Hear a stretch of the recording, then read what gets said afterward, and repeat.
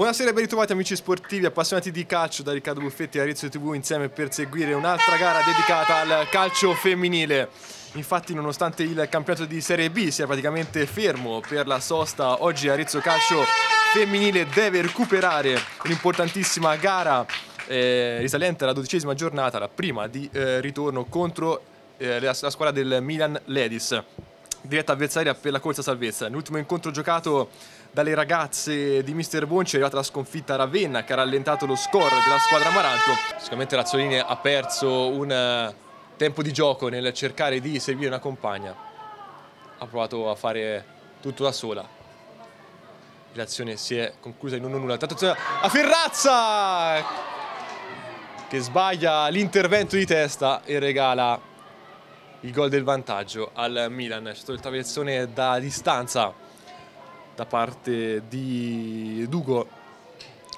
Ferrazza non si è intesa con Antonelli, il suo colpo di testa si è trasformato in autorete. Dunque quando siamo al nono minuto nel corso del primo tempo il Milan passa in vantaggio grazie a un'autorete di Ferrazza.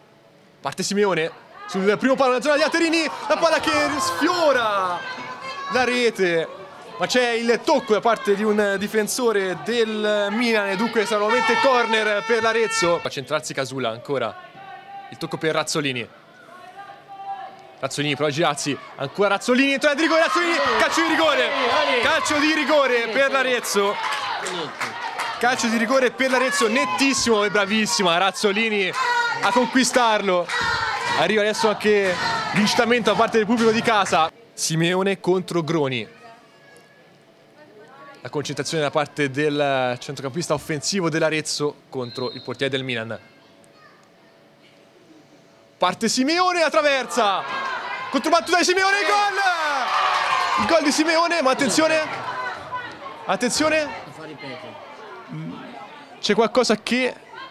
Eh sì, ehm, annullato il gol perché Simeone ha colpito la traversa, poi la palla è tornata in campo e Simeone è andata a ribatterla non poteva effettuare il secondo tocco Simeone perché ha preso la traversa, ha preso e dunque è come se avesse calciato due volte il rigore. Rete annullata e si rimane sull'1-0 per il Milan, grandiosa occasione sprecata. Ah, Simeone. Battuta verso il centro. Ci prova Razzolini traversa! Ma che traversa ha preso Razzolini? Porta stregata questa, parte questo, in questa partita. La porta è stregata per l'Arezzo. Attenzione a Gramolelli.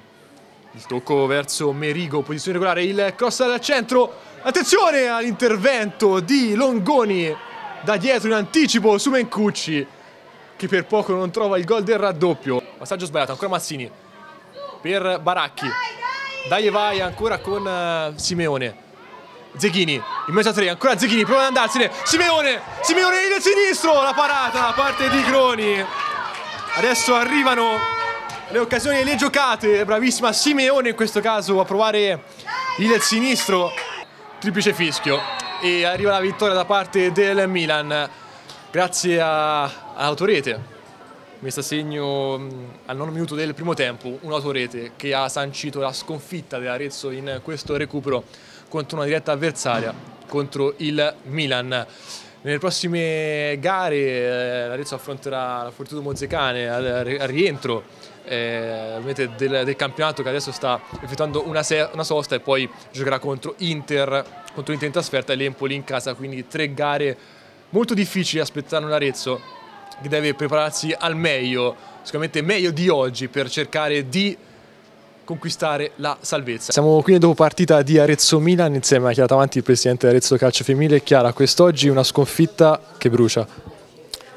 Brucia, in questi casi preferisco guarda, parlare poco e lavorare tanto, quello che stiamo cercando di fare. Noi siamo tutti dalla parte della squadra, delle ragazze, continuiamo a crederci perché la partita è stata molto bugiarda, comunque il calcio è anche questo, non dobbiamo mai buttarci giù e andiamo avanti, noi siamo molto convinti nella nostra battaglia e a maggio se ne riparlerà. Comunque nonostante il risultato abbiamo visto un Arezzo comunque che ha creato anche tante occasioni, cosa è mancato secondo te alla squadra per riuscire a portarsi a casa risultati, questo risultato e quelli precedenti?